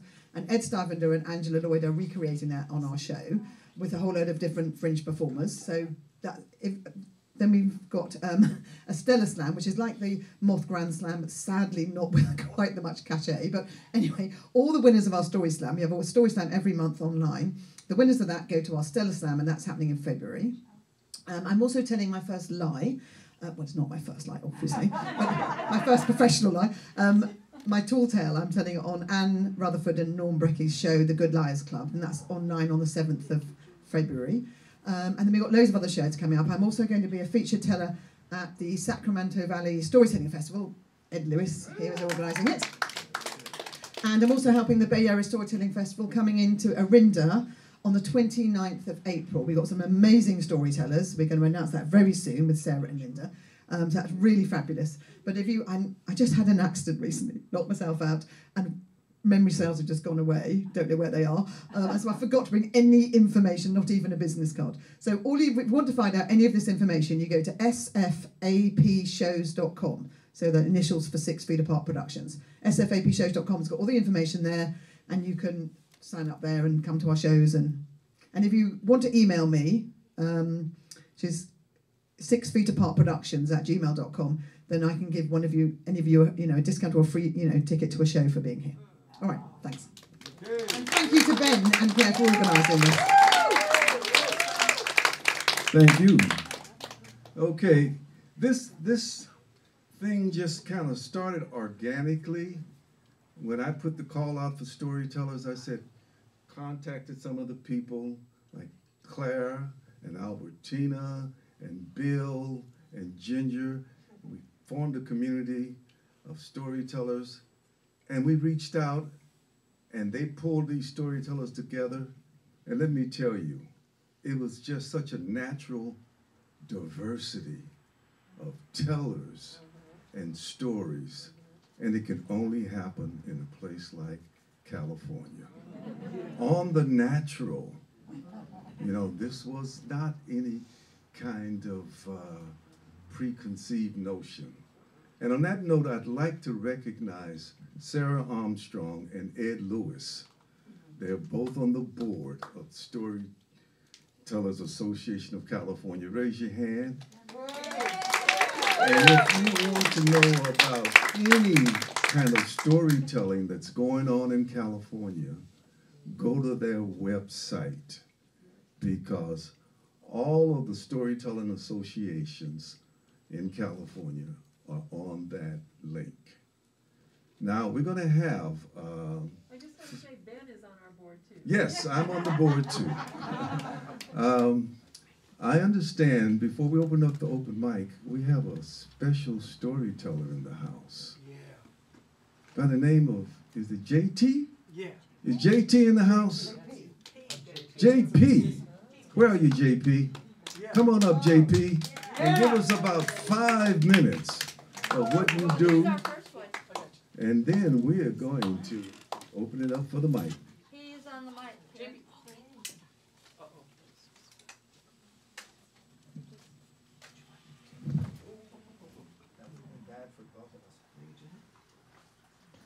You want to, you want to just do it right here? No, I can put it on. Okay.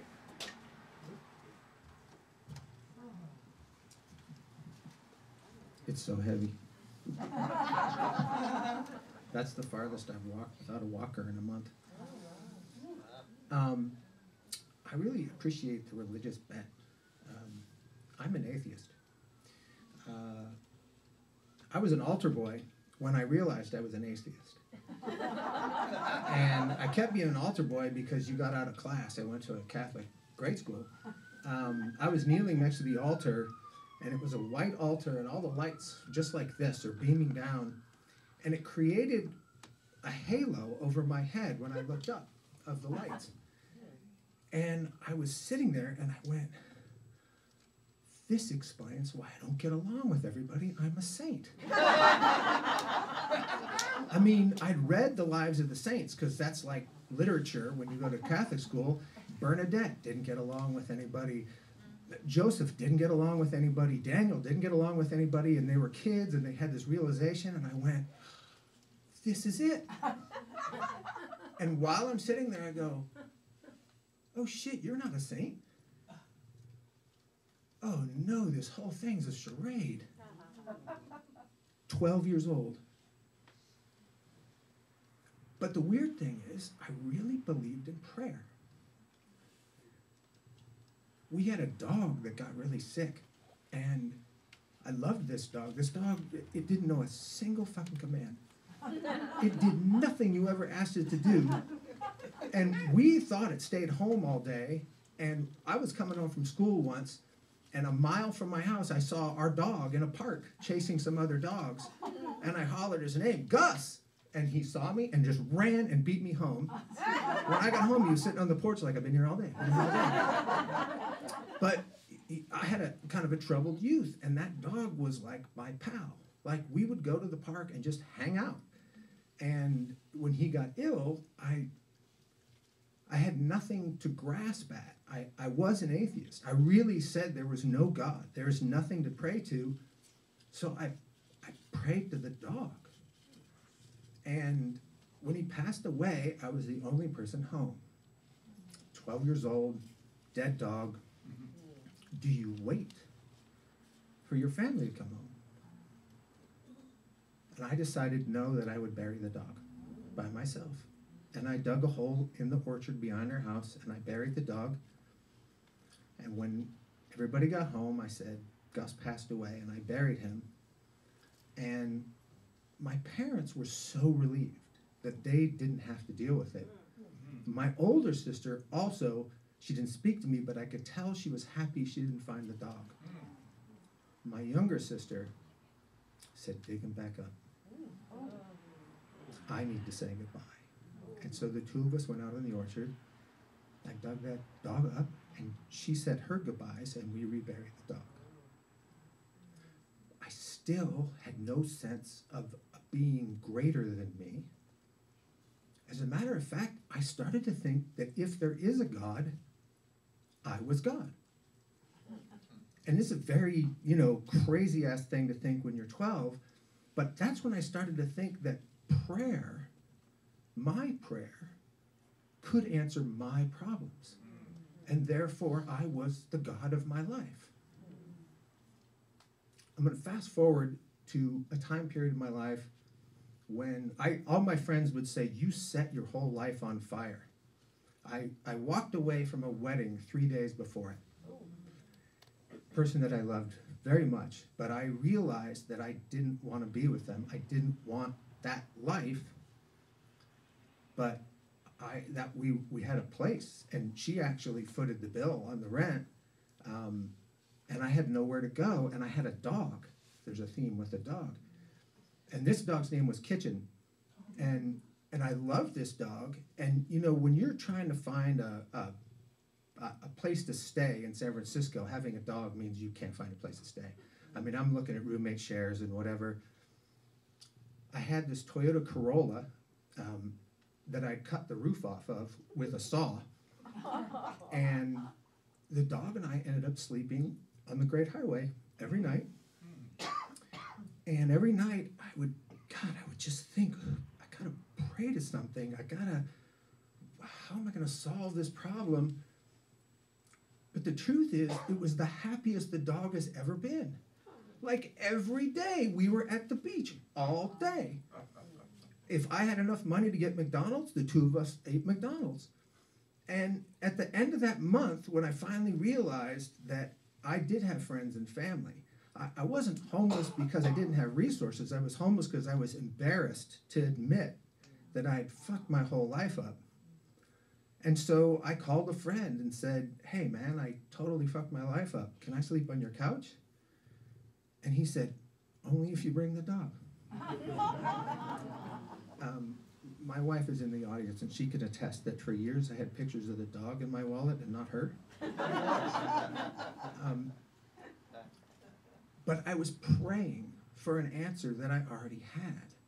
I had friends and family. I had resources. I had things that I could go to. I'm going to jump ahead again. By the way, I'm on opiates. And um, you may not be here. It's entirely possible that you're not here. So I'm in a lot of pain, and I took two of the pills. And I, the really reason that I took two of the pills is the other person that I prayed to is my wife, and she is not getting any sleep because I'm not getting any sleep. And Um, when we had uh, our, our child, um, we had this fantasy of having him sleep in the bed with us.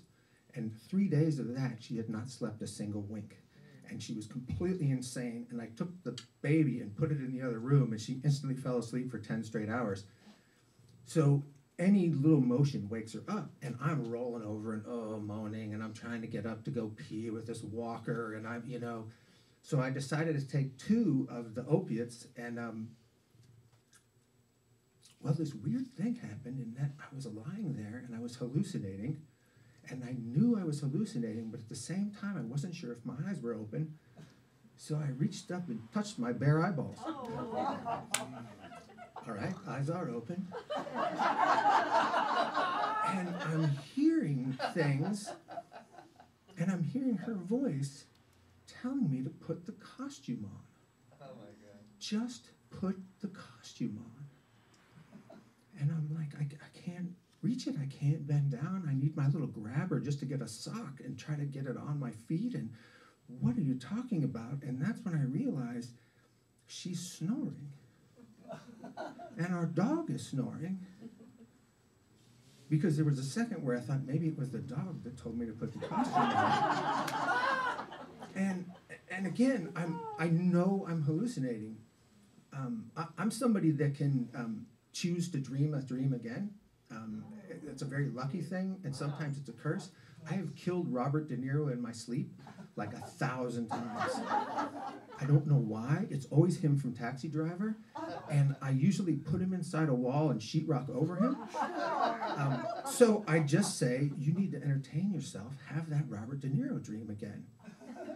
And I'm forcing this dream on me, but Robert De Niro is somehow dressed up like my wife. And every time I go to choke him, he says, Put the costume on, put the costume on. So this is because I've taken the two pills, she's actually getting a full night's sleep. And I'm going, Oh, thank God.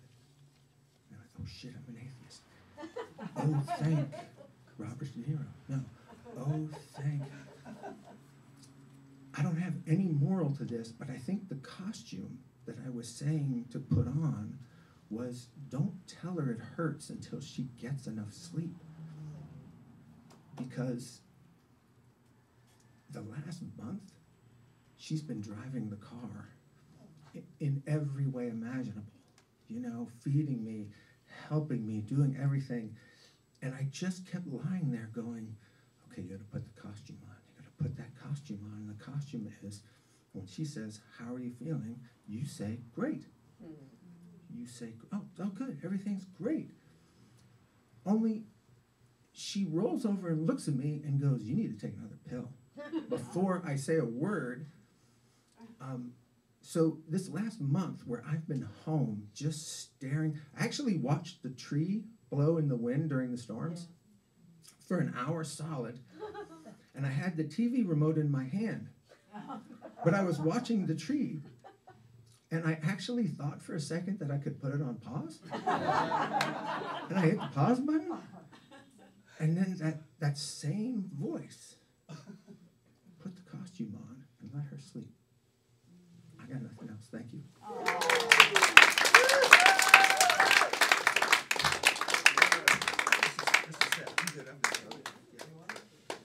I haven't fallen yet. Okay. Thank you, thank you for sharing that. And let's hear it for the caregiver. The caregivers of the world. You make it possible for people like uh, all of us have had that. Okay, where's Albertina? Okay, we have our open mic now. So you want to grab the, um, I've got him. okay, Ed Lewis. Ed Lewis. Come on up, Ed. Ed told us really great tall tale story the other night. And he's come all the way down from Sacramento on the Capitol Corridor. We appreciate it. Hey, thanks.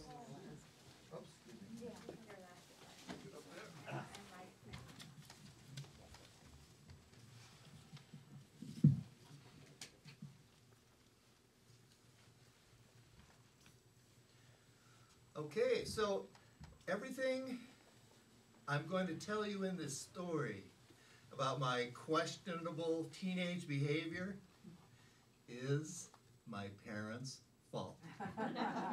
it's definitely not my fault.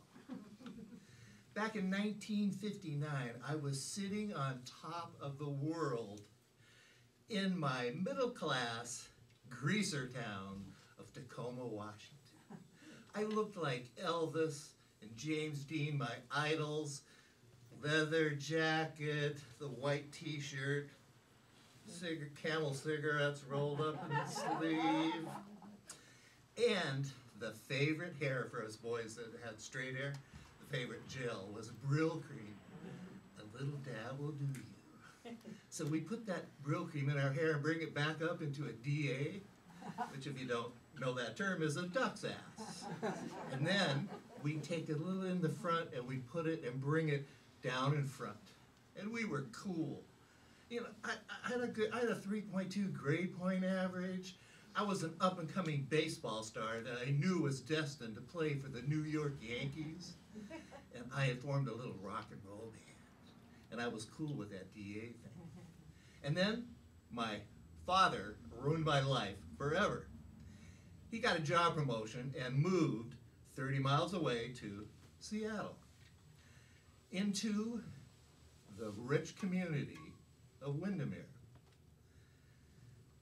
all the Ivy Leaguers, not the greasers, not my crowd. These are the boys that had the short cropped hair and, and wore cardigans, ties, black slacks, and polished uh, shoes. And the girls, uh, it was the worst thing ever. They, they wore starched white shirts. Sometimes they'd have a little cashmere sweater over it. And they had these long plaid skirts that went over their knees. And the worst invention for females ever, as far as shoes go, were saddle shoes with these argyle knee knee high socks that came up. I was in enemy territory. I knew I didn't fit in, but I was a ninth grader and I thought I was very clever. So the third day of school in ninth grade, I had my victim planned out. It was Mr. Moffat, bald, got a chunky, you know, maybe kind of looks a little bit like me right now. he was up at the board. He was the math teacher, and he was writing on the board. And I said, I stood up, raised my hand, and said, "Hey, Mr. Moffat, I got something I got to tell you." "Uh, Excuse me, I'm writing right now. "Uh, No, no, no, I really got to say it right now. He said, "You're this new boy, yeah?" Yeah, yeah, yeah. Okay, go ahead. Well, I just want to let you know that you're a effing asshole, and all these Ivy League punks in here are also effing assholes. Hmm. Right down to the principal's office. They called my dad. I got kicked out of school for a day, and I knew we were now going to move back to greaser heaven. well, of course, it didn't quite happen that way. And so, but I made my revenge swift. I took most of my homework, and by the time I was a senior, Had a 1.2 grade point average. I had incinerated much of that homework down in Ravenna Park. I got kicked out of the marching band for being drunk at a football game, and I joined a motorcycle gang.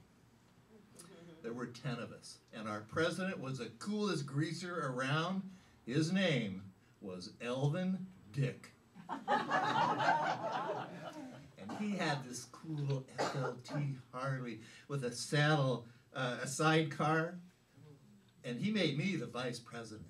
And every Friday, or every Saturday, we would go down to the Pike Place Market in Seattle area where we would look for a gang to rumble. Now, there were 10 of us, and I got to ride in the sidecar. And the other eight guys had to take the bus because none of us had a motorcycle. but we got down to Pike Place, and then we, I said, okay, man, let's spread out and look for a gang we can rumble with, a gang of a- Ivy Leaguers somewhere. So we all headed out, and I had a plan. I went into this alley, and I punched myself in the lip about 10 times until I had a nice split lip, and the blood was flowing out.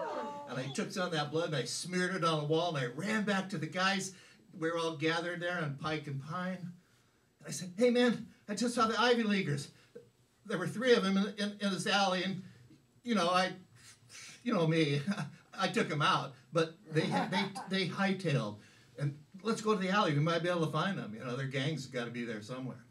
So we ran in there, and I showed them where the blood was all smeared on the wall, and uh, of course that's where I think that's where my storytelling career started. well, you know, it's uh, I did have a transformation. Kind of in my senior year, I realized I probably better do something and started going to college. And then my parents said, When are you ever going to get out of college? but one thing I'd like to do is I've always wanted to do this, especially since I've been involved with the storytelling community and especially the Storytelling Association of California. I want to form a gang of storytellers. so I'm thinking, you know, if any of you want to join, here's the rules. One, women, there's no way you can wear saddle shoes. Guys, you know, the leathers, got to have a little Brylcreem. And I'm actually starting a company. And you can, uh, to make this Brylcreem gel, because you can't get it any, anymore, but you can contact me at DA Ed Lewis at da.com. And the last thing is, at least one of us in this gang has to have a motorcycle. and please contact me also at ed-greaser at da.com.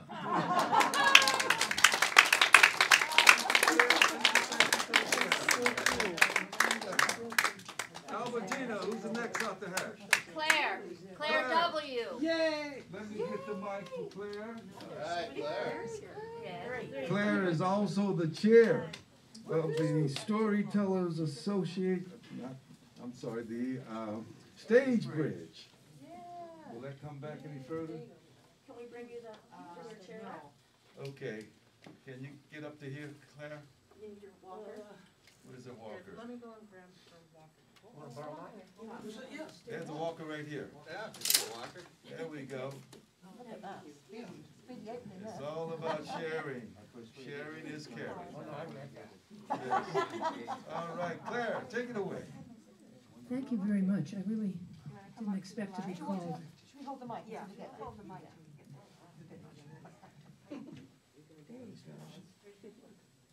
You go, girl. Get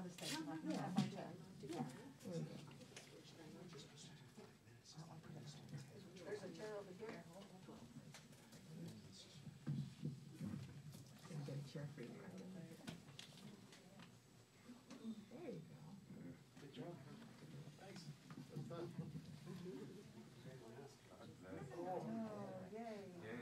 Right, Thank you.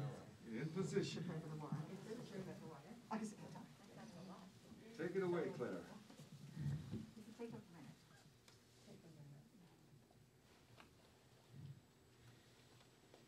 When I was about 13, and that was in the mid 40s, because I'm going to be 90 next month.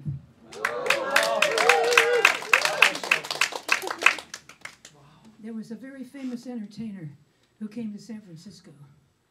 He was somebody who was much beloved, and he did shows at the Golden Gate Theater, if you know where that is. In those days, they did them six a day. They did six shows a day, alternating with a film. And I was such a fan of this person that I went and I would sit through all six shows and I learned all the routines that he did.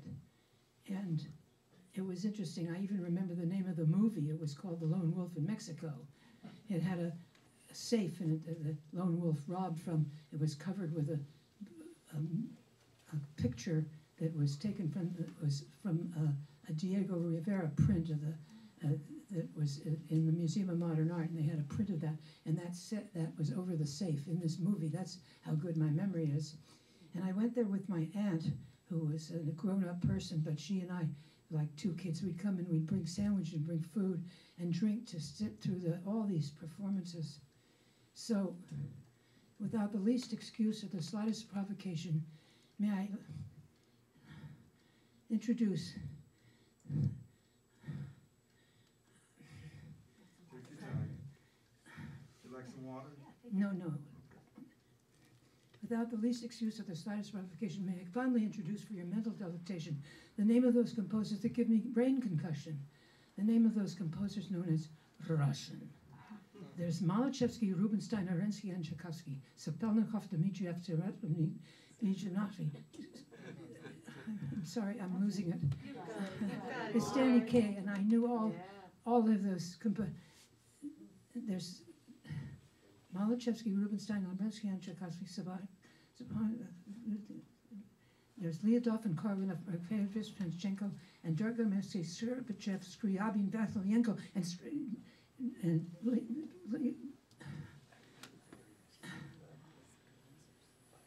uh, Anyway, it all ends with saying, and, and Stravinsky and Rachmaninoff, and really ought to stop because you all have under not enough. Stravinsky, Rachmaninoff, Ochinsky, Rachmaninoff, and really ought to stop because you all have undergone enough. That's the way it ends. I'm sorry. My memory failed me at that point. I'm so sorry. I know that.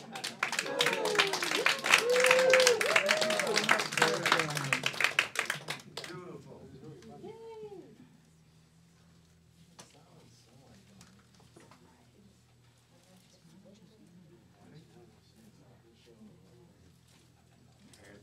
Thank you again. Let's give Claire a round of applause. Pass my mask back. It's up there on the. Yeah, I'll get it. Okay. Um, Albertina, Ginger. Ginger. Ginger corn. All right. Come on up, Ginger. Go pass it back.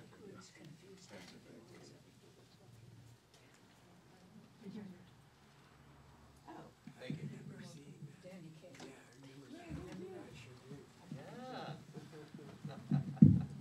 That was fun. Well, so glad we had such a great turnout here again, especially with the 49ers. I haven't checked the score, I promise.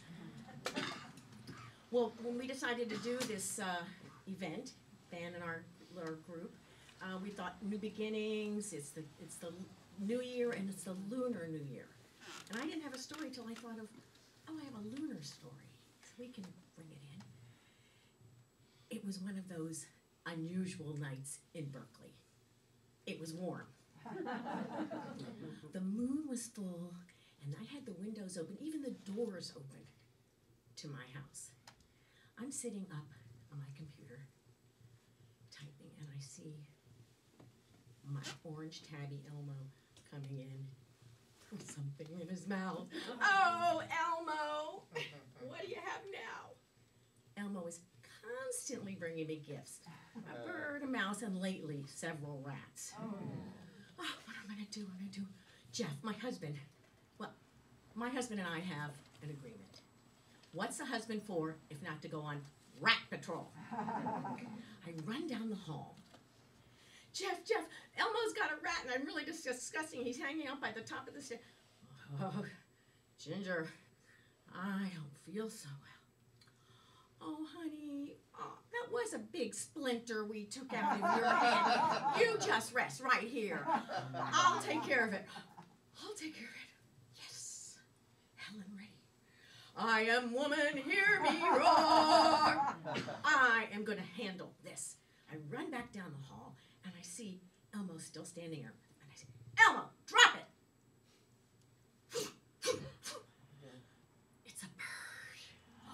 I pick up Elmo and I throw him in the room, close the door, and I walk up to the window pane. It's landed on the casement window. I walk up. Oh, it's a hummingbird. Oh. Oh, the beauty. And the fluorescent feathers and. Oh. Hey, lady, why don't you help me, lady? What am I gonna do? What am I gonna do? I run back into my room. I Google Berkeley Animal Shelter closed. Injured bird help rescue. Hop along. Doesn't really sound like anything for birds, but I pick up the phone and I call Hop along. Landline. Hop along. Oh, hi, my name's Ginger, and, and my uh, there's a bird on the. honey, well, that's serious. I, I can't help you. Call Berkeley Animal Rescue. Thank you. I'll give you the number. She gives me the number. A machine. Answer machine. Press one for dogs. Press two for cats. No button for injured birds. Hello, Ber- Berkeley Animal Rescue. Hello, sir. Well, I want to let you know have this hummingbird that's hit, and, and I'm afraid. Oh, he's gonna die. well, what can I do? We can't come out. It's a full moon, lady. The animals are going nuts. what can I do? Here's what you gotta do. You gotta slip your little finger under the bird and cup it into your hand and try not to squish it. Take it and let it out the house. See what happens. Another thing you gotta do. Pray. so uh, I walk up to the bird. And it's on the. Oh, flies away. Back in the exact same spot. Oh. It was like air. It was like I was holding air. Still alive. Walk out the front door because it's open. Pray. It flies away. I saved that little bird. Oh, Helen Reddy here. Now, that might have been the end of the story because I was making myself a chamomile tea in the kitchen because I was pretty nervous after all this and no help from my husband.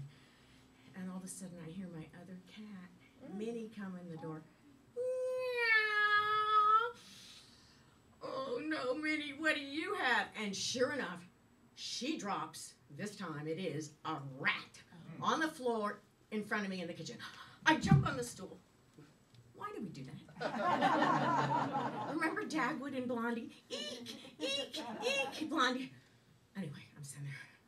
Okay, I handled the bird, and now there's a rat. And you know what? The hell with Helen Reddy. Jeff, get your butt out of bed!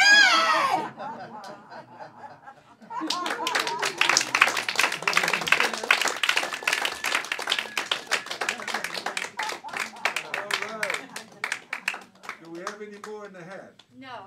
Okay, I want to thank everyone for coming out today. Yeah.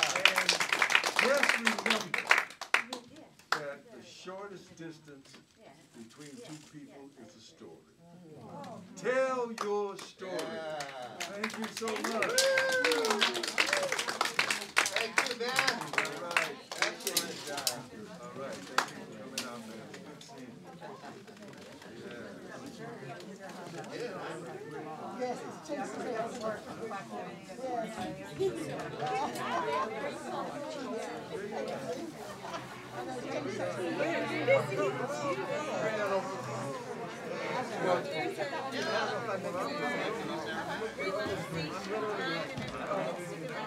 Yeah.